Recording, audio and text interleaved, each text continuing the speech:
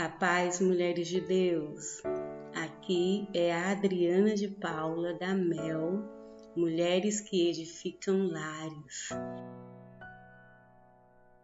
Desafio 30 dias de oração por uma mulher reconstruída.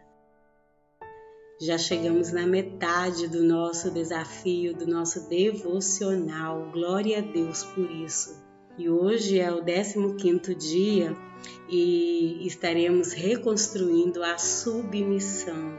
Ontem nós reconstruímos o relacionamento com o marido e hoje nós estaremos reconstruindo a submissão, que é um princípio tão importante para que você reconstrua o seu casamento.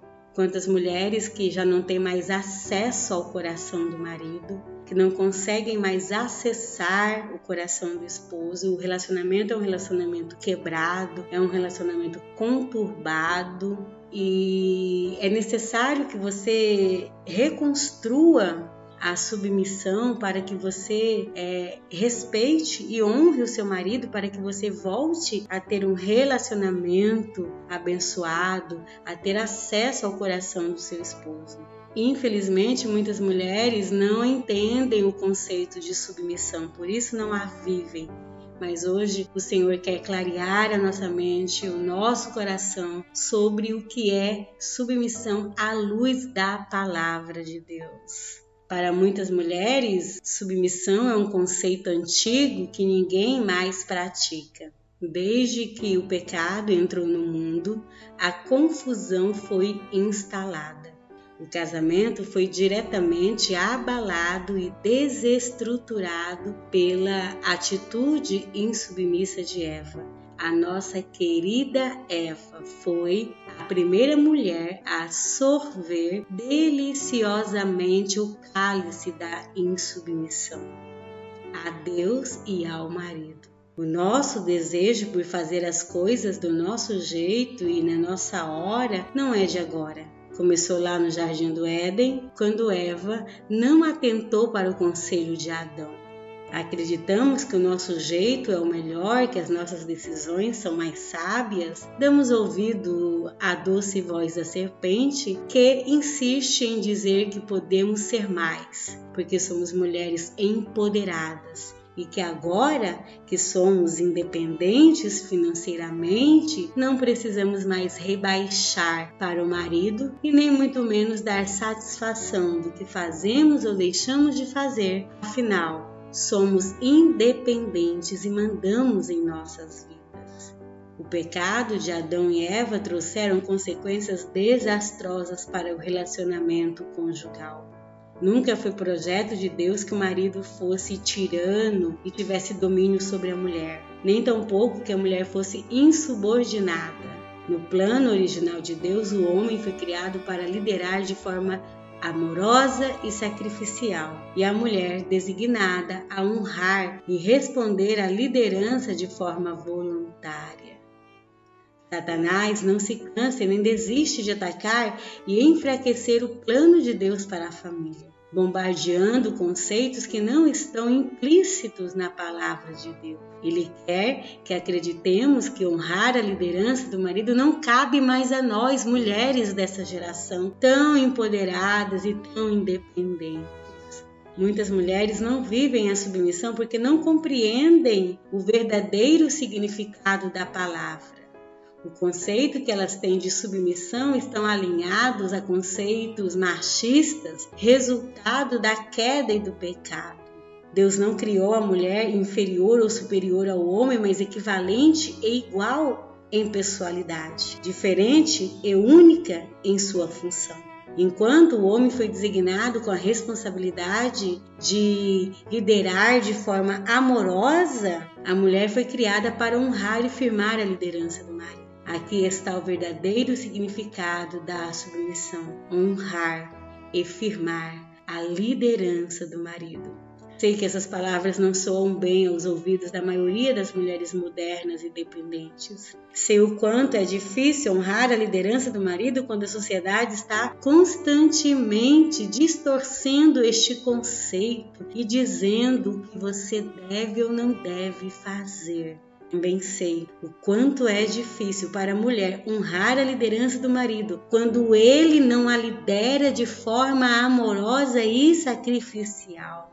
Sempre que ministro esse tema em encontros de casais ou nas palestras sobre submissão, eu pergunto às mulheres quantas são servas de Deus. Todas levantam as mãos e dizem: Eu sou forma espontânea e de forma alegre.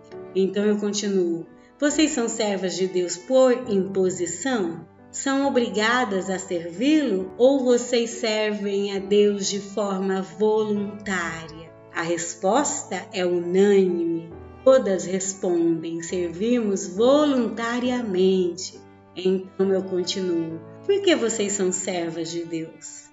E a maioria responde porque Jesus nos salvou, entregou a sua vida por nós. Amadas, foi exatamente isso que o apóstolo Paulo ensinou sobre o mistério entre o casamento homem e mulher e o casamento de Cristo com a igreja, lá no livro de Efésios, capítulo 5, do verso 21 ao 31.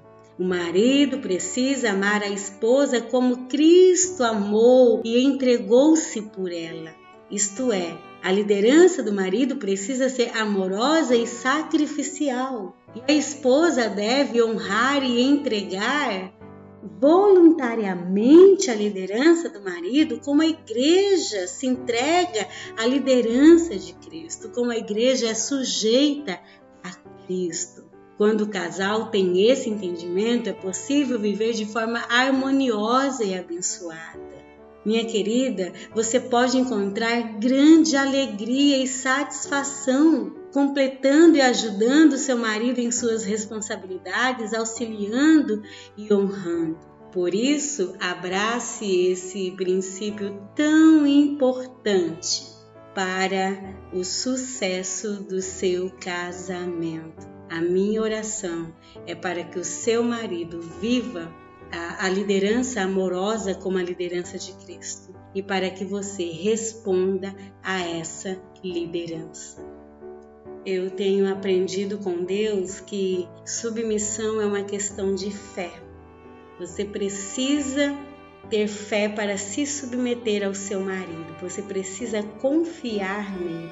E a fé, a gente não anda por vista, a gente anda pela fé, a gente, a gente caminha pela fé. Ainda que o seu marido hoje não é um líder amoroso e sacrificial, pela fé, honre a liderança do seu marido, pois o seu posicionamento levará o seu marido a ser um líder amoroso e sacrificial. Ore por isso, ore sobre isso, ore para que o seu marido seja um líder amoroso e sacrificial, para que você possa então responder essa liderança. Amém? Motivos de oração. Ore para que o seu coração esteja inclinado a honrar a liderança do seu marido de forma amorosa e voluntária. Ore se arrependendo e pedindo perdão por todas as vezes que deliberadamente não honrou e nem respeitou as ideias e orientações do seu marido.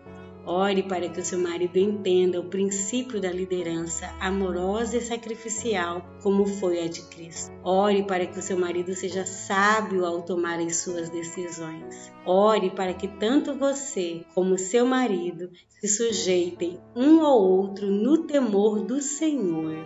Amém? Oremos.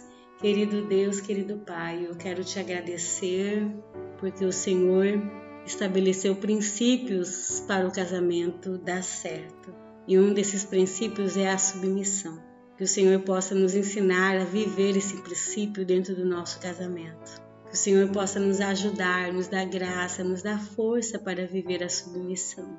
Eu oro também pelos maridos para que eles entendam que a submissão é uma resposta à liderança amorosa e sacrificial o respeito da mulher, que a honra está ligada à maneira como ele a trata, à maneira como ele a lidera, ó Pai. É claro, ó Deus, que isso não justifica que sejamos insubordinada quando o marido não está posicionado que possamos pela fé nos posicionar em nosso papel, crendo que as nossas atitudes levarão os nossos maridos a reconhecerem seus pecados, a reconhecerem quanto estão distante do seu posicionamento e a desejarem se posicionarem como líderes amorosos, como líderes que sacrificam o seu próprio bem em prol da família, em prol da esposa.